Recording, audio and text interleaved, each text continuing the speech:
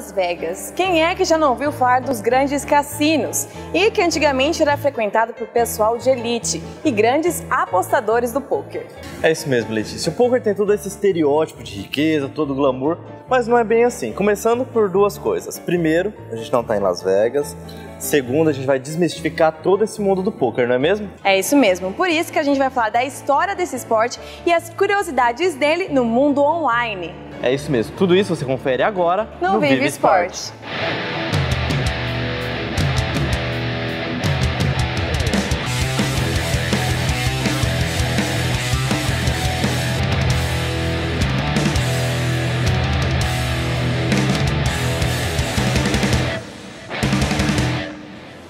Começar o programa de hoje, estamos aqui com o gerente da Liga Maximus de Poker daqui de Maringá, o Marcelo Almeida. Ele que vai explicar pra gente como funciona a liga aqui na cidade. É isso mesmo, Letícia. Mas ó, esse óculos, essa pose toda não é só charme, não, é estratégia, né? No poker? Estratégia. Estratégia contra os adversários para não passar nenhum tipo de informações ao oponente. Então, óculos, fone de ouvido, até cachecol eles usam durante a partida. Sim, até cachecol. Uh, você usa o cachecol para evitar que a jugular pulse ou que a pupila dilate. Passando Demonstre qualquer... qualquer informação uhum. para o adversário. Exatamente. E é importante, assim, é um esporte muito curioso. Ainda mais aqui em Maringá, muita gente não sabe que existe aqui a liga, né? E eu quero saber, assim, é qualquer um que pode vir aqui, pode jogar, como funciona? Legal. A liga existe aqui há mais de oito anos, tá? Então, qualquer um que seja maior de idade pode sim vir jogar. O esporte tem crescido muito aqui, aqui em Maringá, exponencialmente. O público universitário tem vindo jogar e junto com o MMA, com, é o esporte que mais cresce hoje em dia. É o poker. Tem muita gente largando fazendo do poker sua profissão atual hoje em dia. Deixou de ser um hobby, uma brincadeira entre amigos, para se transformar numa profissão. E você estava falando lá pra gente que não é mais como antigamente. Você vem aqui, uma pessoa mais rica tem tanto número de ficha. Aqui é igual para todo mundo, né? Explica melhor isso. Isso. Antigamente a gente tinha mais esse estigma de que o poker era é, ficava mais às margens da sociedade e se perdia muito dinheiro e era aquela coisa com a luz baixa, bastante. Um esporte de elite, né? É, um esporte de elite, caro. Hoje já não é mais assim. Hoje popularizou o poker, o poker barateou. A gente tem torneios aqui que a gente chama de free roll, que é entrada free, tá? É... Número de fichas igual para Número mundo. de fichas igual. Então, é... tanto quem tem uma condição melhor ou outro ele vai pagar o mesmo valor, participar do mesmo torneio e vai pegar o mesmo número de fichas. Então eles vão partir em pé de igualdade. Vão poder disputar na mesa e não no, no bolso. E falando de igualdade, homens e mulheres disputam no mesmo nível ou tem essa diferença entre os dois? Disputam, disputam no mesmo nível. E assim, as mulheres estão dando um show, estão jogando pra caramba, estão vindo, estão vindo aqui jogando. Ainda é um, são, elas são, representam um número menor, mas estão jogando o fino do jogo, que é como a gente fala, é um jargão nosso, porque é um esporte mental. É, não, não, exige apenas habilidades físicas, tá? habilidade mental. Isso é maravilhoso no poker. A gente tem dois tipos, basicamente, de jogadores hoje, tá? O jogador recreativo e temos o jogador profissional. O recreativo ele já não precisa desse treinamento todo, porque ele passa o dia trabalhando, não tem isso como profissão. É um lazer, né? Isso, isso, ele tem como hobby, ele vem aqui no final do dia para se desestressar, se divertir. Já o profissional, uh, ele tem que ter um preparo físico, ele tem que ter um preparo emocional, um preparo mental para aguentar maratona de jogos, para aguentar uh, horas e horas a fio na mesa de poker. Até quantas horas pode durar uma partida, por exemplo? Olha, é, depende muito do, do, do torneio e da estrutura do torneio. Mas as partidas duram 5 horas, 10 horas, 12 horas. Ah, e alguns torneios até mais de um dia. Aí ele é fracionado em mais de um dia. Por isso é importante o preparo físico, porque ninguém aguenta. Por isso é ficar... importante o preparo físico. Mas tem Exatamente. os intervalos também, né? Tem intervalos. É, a cada não, não tem uma regra, mas a cada um período, lá, duas horas, mais ou menos, te faz um intervalinho lá, uns 20 minutos, para dar uma pausa, relaxar a mente, poder tomar uma água, se recompor e voltar para a mesa. e também tem o poker online. Qual que é a diferença de você jogar online e você jogar pessoalmente, presencial? Olha, são, são bem distintos, o online e o, e o live, o que é o presencial, tá? O online, ele é mais dinâmico, porque o, como é um software que distribui as cartas, faz a, a, as apostas, etc., ele é muito mais rápido. O número de mãos por hora, o número de mesas que, que você pode jogar ao mesmo tempo é maior. Você pode abrir oito, nove telas e jogar nove torneios ao mesmo tempo. Uh, a diferença é que, por exemplo, você não vai conseguir pegar alguma, alguns sinais do seu oponente, você não consegue estudar ele melhor, olhar no olho, entendeu? Esse negócio do óculos, lá, lá não tem, lá é tudo mais uh, mecanizado, muito mais frio. O poker online está crescendo bastante mesmo e é por isso que eu e o Luan separamos aí algumas curiosidades do poker online. Olha só. Pois é, a internet toma conta de tudo mesmo. E com o poker não foi diferente. Lá na década de 1980, se você quisesse jogar em um torneio, teria que ir para Las Vegas ou outras cidades com cassinos. Hoje não é preciso nem mesmo sair de casa para poder jogar com milhares de pessoas ao redor do mundo. O primeiro poker online foi lançado em 1995, mas o esporte teve mesmo um boom em 2006, quando um jogador amador foi consagrado campeão mundial de poker. E tem mais, dá para ganhar uma boa grana com o poker online. Os grandes portais do esporte oferecem torneios para todos os níveis e os valores variam de um centavo até 50 mil dólares só para entrar no jogo. E para você ter uma ideia, o maior prêmio online pago a um brasileiro chegou a 510 mil dólares, mais de um milhão de reais. Quem quiser se arriscar nesse mundo precisa pesquisar os grandes portais que oferecem o poker online. Eles são mais seguros e funcionam como verdadeiros bancos, movimentando uma quantidade enorme de dinheiro diariamente em todo o mundo. Além disso, existem partidas para todos os bolsos. E o computador nem precisa ser tão potente. Mas é essencial que tenha uma conexão 100% estável. Até porque ninguém vai querer perder o jogo, né? De ser uma diversão, você ainda pode ganhar um dinheirinho extra. Mas não se esqueça de que não é sorte, é estratégia e conhecimento. Muito legal. Eu queria saber como é que funciona na mesa, a hora que você vai estar jogando. Tem os juízes, como é que funciona na hora do jogo? Tem sim, tem. É, hoje o poker tem uma série de normativas e regras que para que ele possa transcorrer de uma forma tranquila e e mais amena para o jogador. Então, para que você possa jogar aqui, possa jogar em Curitiba, possa jogar em São Paulo e tá norteado pelas mesmas regras, tá? Então existe na mesa tem o dealer que é o responsável por dar as cartas, embaralhar e dar as cartas. É um, uma pessoa independente da casa, tem um processo, um padrão todo de embaralhamento para que não haja nenhum tipo de suspeita sobre ele. Tem um padrão todo que é definido em convenção. E a gente tem o, tem o staff, que são as pessoas que vão auxiliar para qualquer tipo de eventualidades na mesa. Ocorreu uma eventualidade, o dealer levanta a mão, o staff vai. E tem o DT, que a gente chama, que é o diretor de torneio. Ele faz um curso, ele estuda para isso e estuda as regras do jogo. E aí, qualquer situação de dúvida, o diretor de torneio vai interferir e a palavra dele é, vai ser soberana o que ele definir, uma situação que acontecer que ficar meio em dúvida, ele vai falar como é o desfecho daquela situação e é soberano, não se discute mais. Você viu aí que é um, um esporte bem complexo, bem né, complexo. Luan? Será que a gente vai dar conta de aprender? Eu acho que. Ah, vamos ver, um vamos pouco, tentar. talvez, né? Mas isso você confere no próximo bloco, não saia daí. Fala pessoal, hoje nós estamos falando sobre o poker, mas antes de aprender um pouquinho mais sobre a prática, vamos conhecer um pouquinho da história do poker? O poker é um jogo de cartas tradicional de cassinos, que pode ter dois ou mais jogadores numa mesa.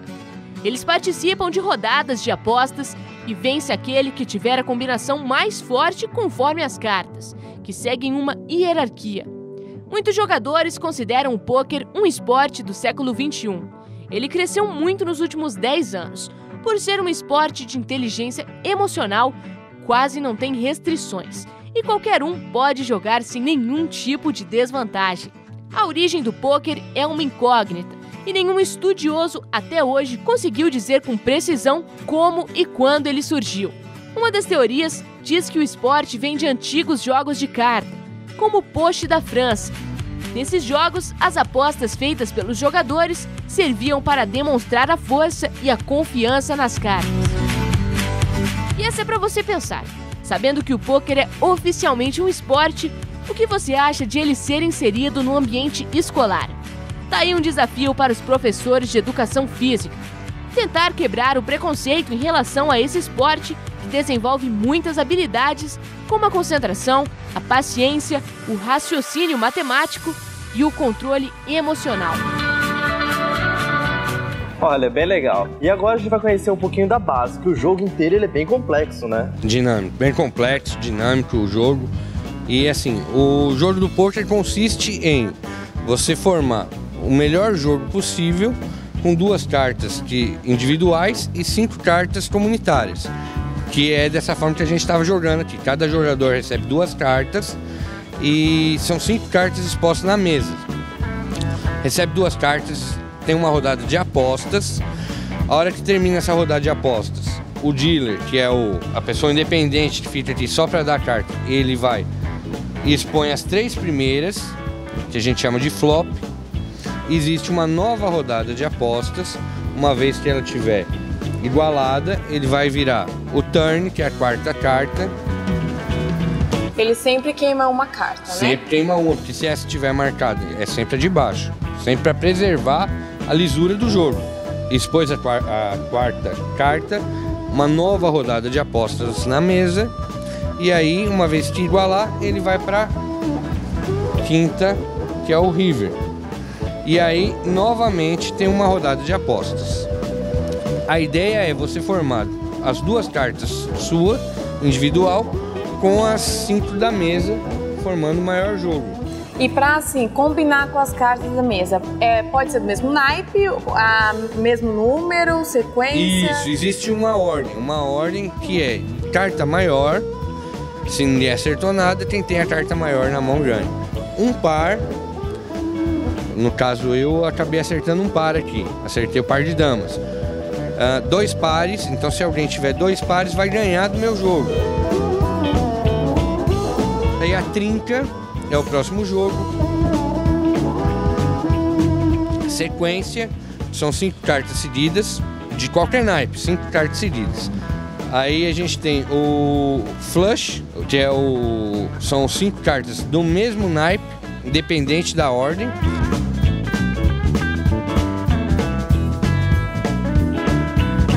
Aí o full house, que é uma trinca mais uma mais um par juntos.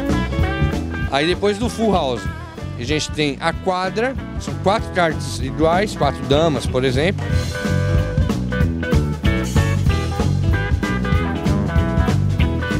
E depois o straight flush, que é a sequência do mesmo naipe. E por último, que é o os top dos tops, que é o Royal Straight Flush, que é de 10, é uma sequência do mesmo naipe de 10 reais. Então, se você tiver a sequência de 10 reais no mesmo naipe, pode, como a gente diz, ir ao win, apostar tudo que você não tem como perder. E o legal é que é um esporte estratégico, que mesmo se você não tiver nada na mesa, você pode blefar. Mesmo se você tiver o pior jogo, você pode ganhar todas as fichas fazendo, demonstrando força, demonstrando que tem um jogo para assustar passando, os adversários. Passando isso pro adversário. Assim, as cartas, o truco tem as cartas mais altas, né, mais fortes. Aqui no, no poker você falou que é o, o reis e o ás. O ás, o ás é a mais forte e aí vai ás, rei, dama, valete, 10 e o 2 é a mais fraca. Aí isso leva em consideração, por exemplo, se eu tiver aqui eu fechado um e você fechado outro, só que o meu é ás, eu ganho de você. Isso, se, se você tiver um par, vamos é, supondo que você tenha só um par aqui e o outro par aqui, se o seu par for maior que o meu, você ganha. Se o meu par for maior que o seu, o par maior vai, o cara vai ganhar. mais forte eu ganho. Isso. Uhum. Esse baralho, ele é um baralho comum? Ele é um baralho específico Baralho pra comum. poker? Baralho comum, com 52 cartas. Mas assim, pra saber mesmo, pra quem quer é, aprender a jogar mesmo, pode vir aqui, vocês dão alguma assistência, como Damos sim. funciona? Pode vir aqui. é, cada dia a gente tem uma estrutura diferenciada, cada dia da semana. E temos dias ah, com torneios a partir do, como eu disse, free roll, que é gratuito, que é na quarta-feira, na sexta-feira, 10 reais. Então, são dias para os iniciantes virem mesmo aprender. E os dealers são orientados a auxiliar essas pessoas que nunca vieram jogar ao vivo, ou não tem muita intimidade, não tem muito contato.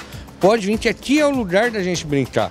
Aqui todo mundo que tá aqui é recreativo, tá vindo para E aprender. aprende mais na prática mesmo, praticando, Na né? prática, na prática. Quanto tempo le- leva, às vezes, uma pessoa conseguir jogar um jogo assim completo? Ó, muito legal essa sua pergunta, porque assim, varia de jogador para jogador, mas a gente tem jogadores aqui que, que vai vir a primeira vez em questão de, de minutos já vai estar sabendo, entendendo como funciona a dinâmica.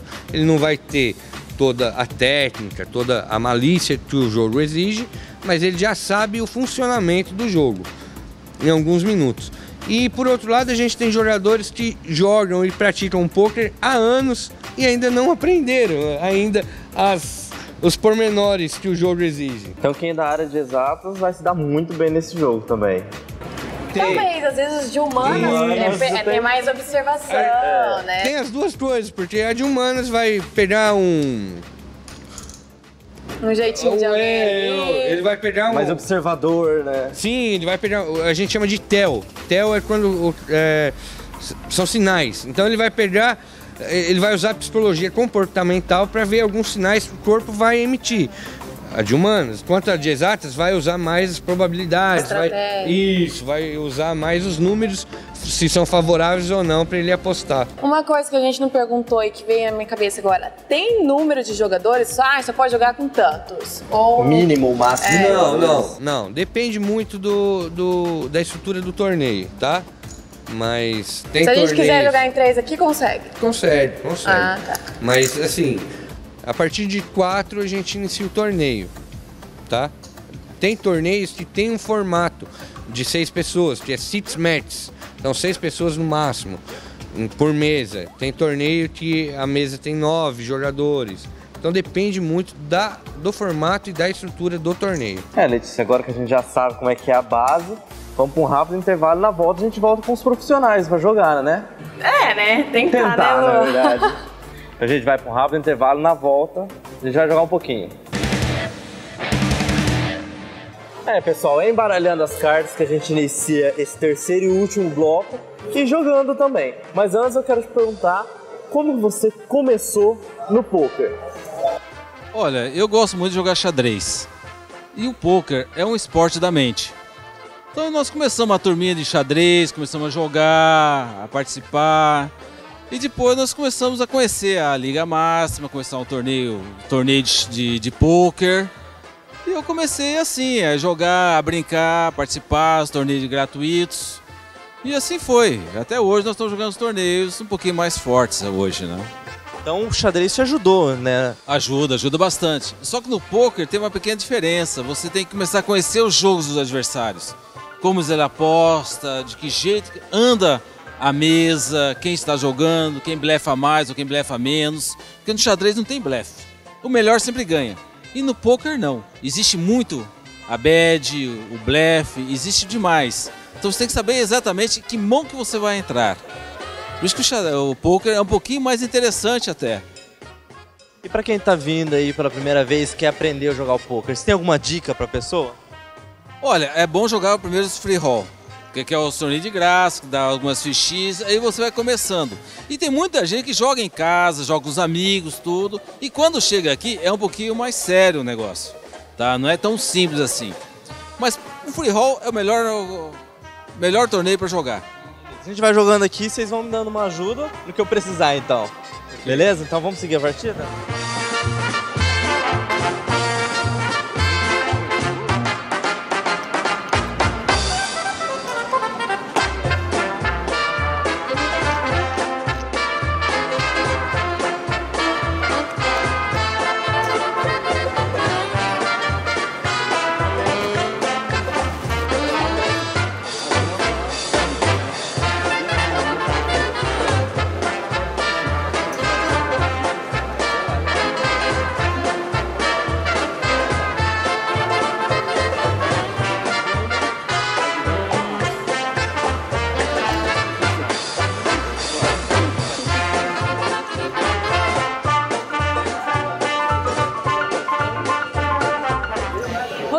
No, no poker há quanto tempo? Como você começou? Ah, eu jogo fazem quatro anos. Comecei mais brincadeira, assim, em serviço, quando eu trabalhava numa empresa. O pessoal reunia na hora do almoço para brincar. Fui brincando, brincando, gostando, procurando aprender mais. E tô aí hoje. Mas você joga campeonatos? Já foi para fora jogar campeonatos? Como é que é? Não, eu sou mais caseiro. Eu gosto, eu jogo mais por hobby, então Mais só jogo o campeonato regional, assim, mais. Quando tem Maringá, no máximo Londrina. Não sou muito de disso não. Você não usa óculos nem nada, porque tem gente que usa esses truques, né? Eu não gosto porque me atrapalha. Infelizmente me atrapalha. Eu gosto assim de estar mais. Pra mim é mais um- uma descontração. Eu venho, troco uma ideia, converso com o pessoal, faço amizade. Pra mim, enquanto tem quem joga bola pra se divertir, eu venho pro poker. Ô, Lê, antes da gente começar essa última rodada aqui, a gente começar um pouquinho com o dealer, né? Primeiramente, saber o que, que um dealer faz. Bom, o dealer ele embaralha, distribui cartas, é, pega fichas, entrega fichas, mais ou menos isso. Mas tem que saber jogar poker também, né? E tem que saber jogar. E a gente viu aqui que tem, não tem tantas mulheres, mas que as mulheres estão entrando nesse ramo, né? Como você decidiu trabalhar com isso? Bom, eu conhecia uns amigos que trabalhavam aqui e acabei vindo pra aprender a jogar e acabei entrando para trabalhar também. Você jogava antes? Não, eu aprendi com eles. Aprendemos em casa, jogando assim entre nós. E o povo meio que estranha quando você fala que você trabalha com isso ou não? No começo sim, eles achavam que era ah, cassino, coisa ilegal. Depois eles se acostumaram, começaram a aprender que poker é um esporte como outro qualquer. Ou preconceito? Sim, deu uma diminuída bastante. Bacana. Vamos pra última partida Vamos aí. pra última e a gente já encerra aqui, né? É. Você já quase perdeu, né, amor? Aham. Suas fichas.